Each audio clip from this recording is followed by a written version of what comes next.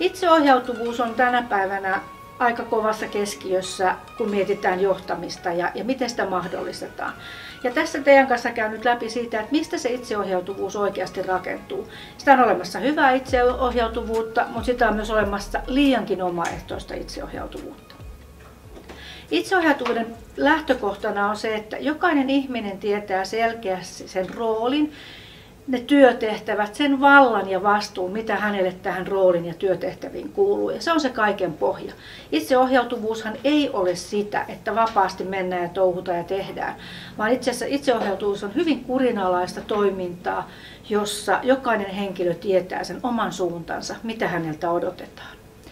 Ja tärkeä elementti itseohjautuvuudessa on tiedonkulku. Eli jotta ihminen voisi toimia itseohjautuvasti, niin hän tarvitsee paljon tietoa siitä, jotta hän pystyy koko ajan seuraamaan, että mihin suuntaan ollaan menossa ja mitä asioita hän tarvitsee sen itseohjautuvuuden toteuttamiseksi. Eli tämä vaatii organisaatiolta itse asiassa yllättävän paljon. Kai sitten tärkeänä on se tavoiteasetanta, että kun ihminen tietää sen, mikä hänen roolinsa ja tehtävänsä, valta ja vastuu on, niin se, että mitä häneltä odotetaan, mitä häneltä tavoitellaan. Ja, ja se on äärettömän tärkeää, että tavoitteet asetetaan jokaiselle henkilölle. Ja kun tavoitteet on asetettu, niin ne puretaan tehtäviksi ja niitä tehtäviä lähdetään toteuttamaan.